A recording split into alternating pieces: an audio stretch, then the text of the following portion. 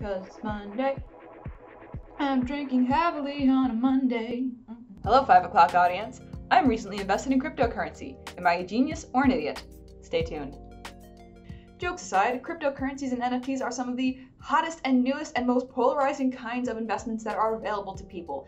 And in the crypto market, fortunes are made and lost in a matter of hours when you can see a singular Bitcoin rise to $68,000 one month and then 17,000 the next. I exaggerate a little bit, but you know what I mean. They're memes, they're scams, they're overvalued, they're bubble bound to burst. They are the future of investing. So, are cryptocurrencies worth all the hype? It's five o'clock. Let's talk finance.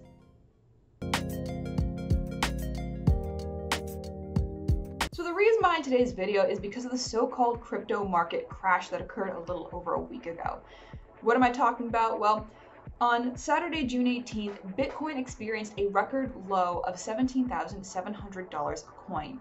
Now, seven months prior, it was trading at over $68,000. It hasn't traded this low, like below $20,000, since December of 2020. And with other similar altcoins like Ethereum also experiencing massive drops year over year, we're talking like 35%, it has a lot of people speculating that whether or not the crypto market has crashed, whether or not this crypto bubble has popped, whether or not we are in a crypto winter which is honestly quite a lot of like jargon and questions and uncertainty for people who just want to know what the f- is going on here. Like, what even is this market?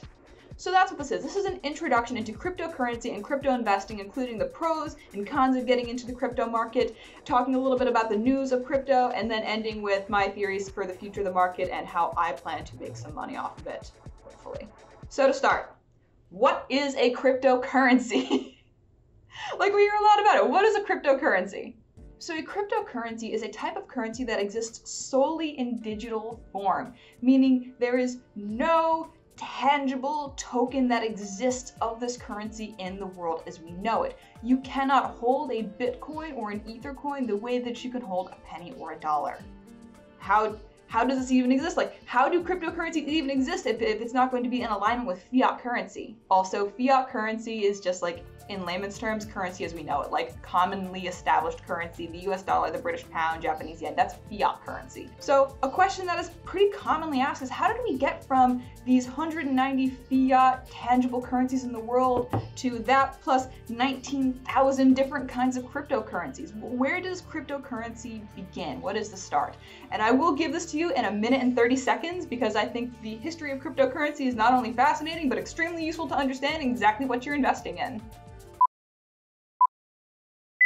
Bitcoin was a product of the financial crisis of 2008 when its creator, a Satoshi Nakamoto, not the real name, lost faith in fiat currency and decided to create their own new digital currency and named it Bitcoin. And that was the origin that was the origin of Bitcoin. Now, from 2008 to 2009, Bitcoin grew in popularity on the internet's underworld black market due to its supposed non-traceability by you know that, that users would suffer if they use a digitized form of a standard currency think like dollars or pounds. But even though you know people thought that most governments couldn't trace this currency it, it absolutely could be traced like for the record just letting you know. It still allowed for anonymous trading over the internet while secured by this newfound technology known as blockchain blockchain protected these transactions and allowed people to go about their business. In 2009, that is when Bitcoin began to get traded publicly on the market, and it sold for 8 cents a coin. Like, 8 cents a coin. Then 2010 came, and here is the first mainstream, not black market transaction of a Bitcoin for a physical, tangible good pizza. Then in 2013, it was recognized in a Texas state court as an actual currency. This is a big deal because now it is not just this thing that exists on the internet, but it's actually something that can be used in states to trade goods, at least in Texas at that time. In 2017, that is when Bitcoin on the publicly traded market rose to $1,000 a coin. And then things went nuts because later that year, in 2017, Bitcoin rose to $19,000 and the price fluctuated quite a lot over the next couple of years, moving by several thousand dollars, you know, year over year. But then in November of 2021, Bitcoin hit a market high, an, unfe- an infeasible market high of $68,000 a coin. Kind of a different story from 2009 when it was trading at 8 cents. Now, at the same time that all this Bitcoin stuff is going on, when Bitcoin is rising in popularity and fame and controversy and head scratches like, what the heck is this? Now you see the rise of these altcoins. Some, you know, 19,000 other different kinds of cryptocurrency decided, hey, I want to, I want to get into this market. And they're known as altcoins specifically because they are alternatives to Bitcoin. It's a clever name, right? Enter 2022, and now we are in the market as we know it, where trading cryptocurrency isn't just something that you can do and may do, it's something that people actually do, especially when 56% of Americans have either traded in cryptocurrency, held cryptocurrency, or are currently holding cryptocurrency. It's a thing. It's a thing just as much as it is trading actual currencies or actual equities or anything else. It is a publicly traded good. And now there is a huge market for it. How's that for a history lesson? I need a drink.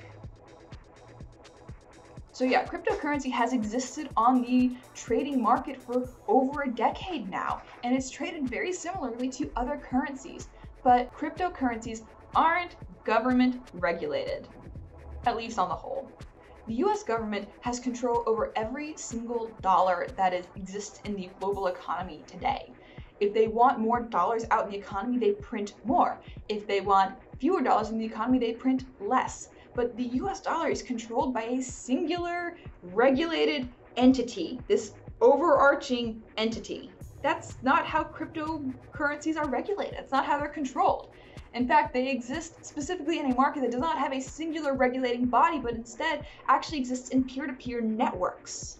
So because there is no singular overarching entity that is governing and controlling the sale and utilization of cryptocurrencies, how does this market, how does the use of cryptocurrency not devolve into complete and utter and total chaos? Enter blockchain. Blockchain is historically what allowed cryptocurrencies to be traded and sold anonymously and securely. When you are in possession of a coin, that coin contains with it this immutable blockchain database attached to it. Immutable means it cannot be altered in any way.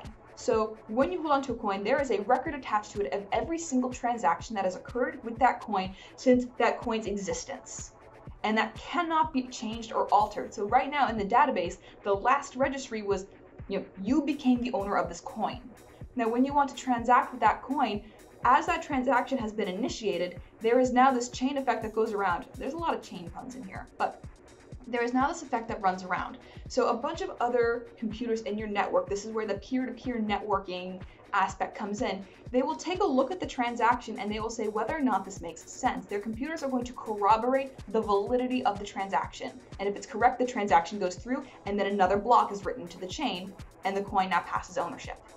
That was how they prevented theft and how they remained, kept things anonymous was they would use you know certain kind of hashed algorithms to confirm whether or not that this all occurred. So that's that's cryptocurrency and blockchain at a very very high level nutshell. So that's what it is, but how does one invest in it? How does how does it actually like make people money? And I think this is kind of like the biggest crux of the episode. So I'm glad you're stuck you've stuck around this long if you have. How do you actually invest in cryptocurrency? Well, there are a bunch of different trading platforms that exist that allow for the trading, specifically like including cryptocurrencies. And that's places like FTX and Robinhood and Coinbase and crypto, they all offer a way to do it. And trading cryptocurrency is again, I keep comparing it to trading like an actual currency, but that's kind of what it is. You exchange a certain amount of your currency, I'll say a certain dollar amount of your currency in exchange for a certain percentage of a coin of a cryptocurrency, or however many coins you can purchase, at, at that specific dollar amount. So right now, a Bitcoin is worth 20 something thousand dollars. If I want to purchase a Bitcoin, I have to fork over 20 something odd thousand dollars. I could buy half a Bitcoin for 10,000, but who wants half a Bitcoin? I say this jokingly. I cannot afford either. So that's easy. That's the easy part. The hard part is deciding what to invest in in a market with 19,000 different tokens and currencies. Oh, that and watching the utter volatility of this market. That's that's the hard part. So, why is cryptocurrency so stinking polarizing? Here's my hot take on it. Um, and I have no idea who's going to agree or disagree with me, but this is my hot take. The crypto market is highly speculative and decentralized. There's no inherent value to any digital currency. There is nothing backing it. There is no gold standard backing it. Nothing other than binary digits, which is super risky. Why would you ever invest in something that doesn't have any inherent value? But you know, it's also really, really risky and doesn't have any inherent value. Options trading, commodities, penny stocks. These sectors, these specific things in which you invest in, are also riddled with speculation. These are literally known as speculative markets. So, why don't we hear people have bigger issues with them? Everybody hates on crypto, but people don't hate on penny stocks nearly as much as they hate on crypto. really, it's because these are established market sectors. These are established speculative market sectors. And crypto is brand spanking new. I mean, it only hit popularity in the market five years ago, which is like seconds in the grand market scale. And people don't always understand crypto. They don't don't always understand the idea of value that is not inherent, but sim- but is simply speculative and derivative. And I think that causes a lot of fear in people who are used to trading in certain kinds of assets, and that fear can lead to dislike and sometimes hatred. But that's just my hot take. Please don't send hateful things to me in the comments. But why would you want to invest in cryptocurrency? Well, the obvious answer, again, my personal opinion, this is an investment sector dominated by young people and it has made overnight millionaires. The fact of the matter is, people who bought Bitcoin in 2017 at $1,000, and then if they were smart enough and lucky enough to sell it off in 2021 at $68,000, saw a 6,700% return on their investment. And that's like only in four years. Like that is kind of the, the crux of it is because this market is so volatile and it's so specul- speculative, you have the ability to make an insanely high volume of money in a really, really short and condensed period of time. And it's a market sector that is really, I, almost want to argue that it is a little bit more inherent to young people because we are so ingrained in today's technology that we have that benefit of understanding, that ease of understanding what we are investing in just a little bit more. But granted, you could also absolutely lose everything overnight, as was as was the case with uh, Dogecoin and Shiba Inu. Um, so there's that. But if you want my true and honest opinion about why I have currently invested in crypto, I mean, you've stuck around this video long enough, so I, I would hope you would thank you. So, truth be told, it's not just the whiskey um, and my tinfoil hat that I'm currently wearing, as you can see. Oh. Crypto is here to stay. Whether we like it or not, crypto is a new facet to the existing market.